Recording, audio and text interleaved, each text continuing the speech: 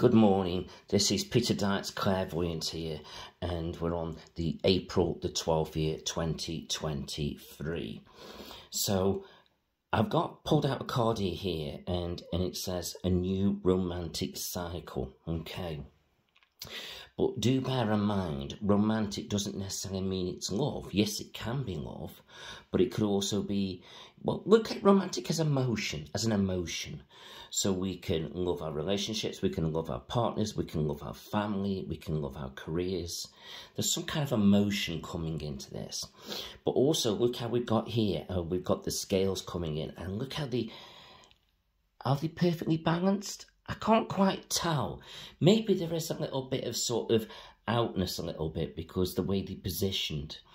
But you know, if we look at things in life, we never get everything perfect.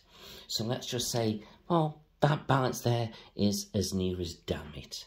So I feel so you know, go and go and get what it is you're seeking. Try get things as balanced as you possibly can, and don't worry if something isn't quite perfect. You know, because sometimes things aren't meant to be perfect.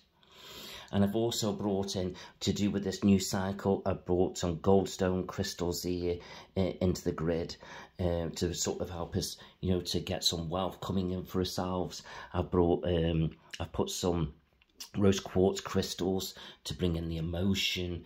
I've also put some uh, amethyst here um, for to help with the healing, and then I've got black obsidian um, so there's a lovely kind of balanced protection coming in here. Okay, so let's enjoy this newfound energy coming in for today. But don't look at it just for today. Look at it for today, tomorrow, the end of the week, even into the month, and perhaps even beyond, because new beginnings carry on especially if you keep nurturing the energy. So bring that positiveness in, okay? So I wish you well. Have a great day, and I hope you have a productive, new, romantic beginning in whatever aspect of your life it is you're seeking. Thank you.